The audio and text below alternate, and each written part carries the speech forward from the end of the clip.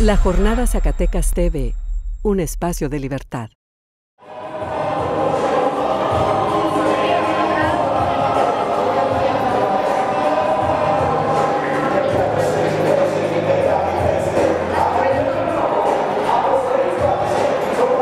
Víctor Ulises Carrillo Robles. Bueno, esta es la cuarta vez que organizamos Expo Tatú Zacatecas.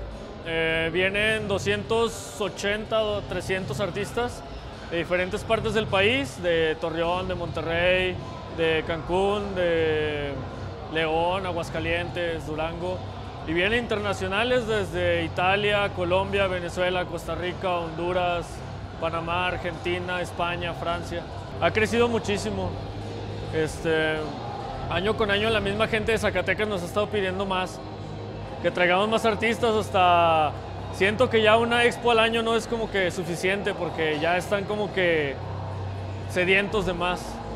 Pues es un dolor eh, no muy intenso, pero sí eh, llega a sentirse, pero es bastante gratificante. Es un como pues sí, es un, es un dolor bueno, porque sabes que va a rendir sus frutos al final.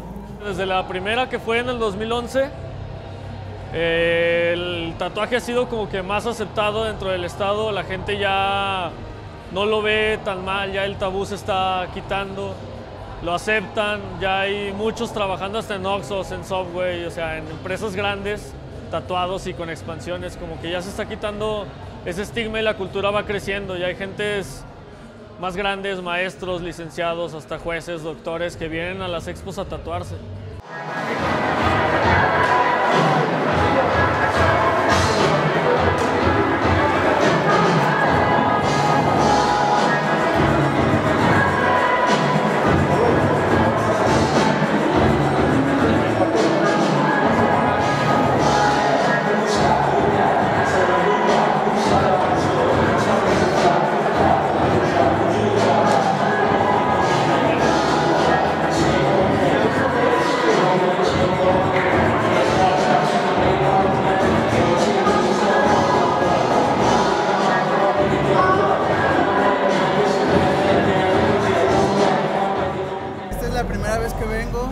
Ah, por lo regular, eh, ya esta persona me contactó por Facebook y este, me dijo, ¿sabes qué? Quiero tal diseño, quiero un prehispánico, pero quiero cambiarle este, la cara, le quiero meter un cráneo. Le dije, pues sí, adelante, me dice, pero hazlo todo a tu estilo. Por lo regular yo hago líneas gruesas y este, pues adelante, ¿no? Más o menos es mi trabajo. Y aquí la gente es muy bonita y esperemos que haya más tatuajes. Para mí es importante ya que es un recuerdo de nuestra cultura mexicana. Es el, eh, el calendario azteca como se le conoce. Eh, solo que pedí, pedí al artista una pequeña modificación.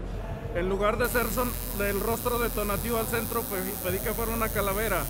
Porque me gusta mucho el simbolismo de las calaveras.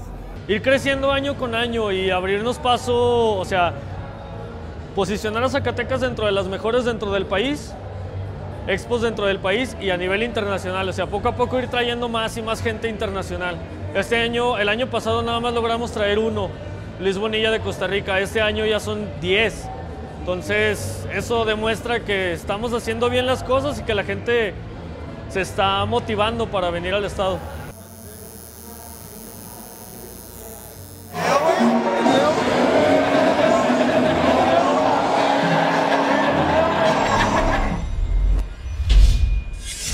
La Jornada Zacatecas TV, un espacio de libertad.